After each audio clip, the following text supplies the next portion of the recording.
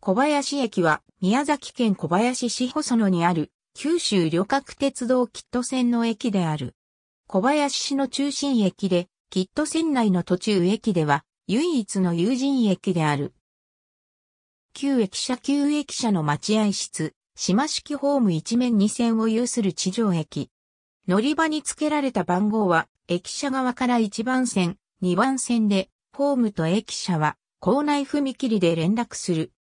JR 九州サービスサポートが業務を行う、業務委託駅。2014年度から駅周辺整備事業を進めており、2015年3月15日に駅構内西側に南北に横断する自由通路を設置し、島式ホームの横に駅舎を新設した。駅の北側にあった木造の旧駅舎は、その後解体され、跡地には小林市地域観光交流センター、きっと小林が建設され、2017年7月31日にオープンした。解体された旧駅舎には小林市観光案内所が入っていた。以前はマルス端末の設備があったが撤去され、ポス端末のみ設置されていた。2019年度の1日平均乗車人員は393人である。近年の1日平均乗車人員の推移は以下の通り。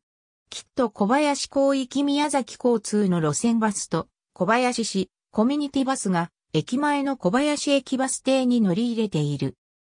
上記のようにきっと小林がオープンしたことにより2017年8月1日より、従来の小林バスセンターを拠点とする路線網から、小林駅を拠点とする路線網に改められ、宮崎交通の発見窓口と旅行代理店も、小林バスセンターから、きっと小林に移された。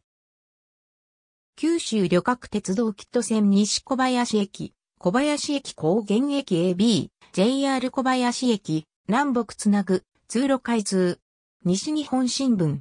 AB、日本国有鉄道工事第39号。官報1951年2月26日。日本全国諸外者役員6。第25回、鉄道員年報。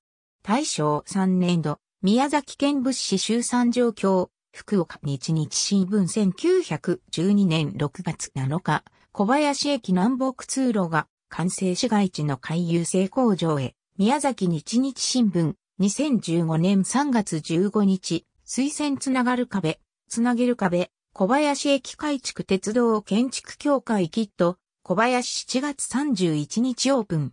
小林市、小林駅時刻表 AB、駅別乗車人員上位300駅。九州旅客鉄道。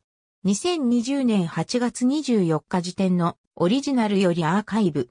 2020年8月25日閲覧。駅別乗車人員上位300駅。九州旅客鉄道。2017年8月1日時点のオリジナルよりアーカイブ。2020年8月31日閲覧。駅別乗車人員上位300駅。九州旅客鉄道。2019年7月6日時点のオリジナルよりアーカイブ。2020年8月25日閲覧。駅別乗車人員上位300駅。九州旅客鉄道。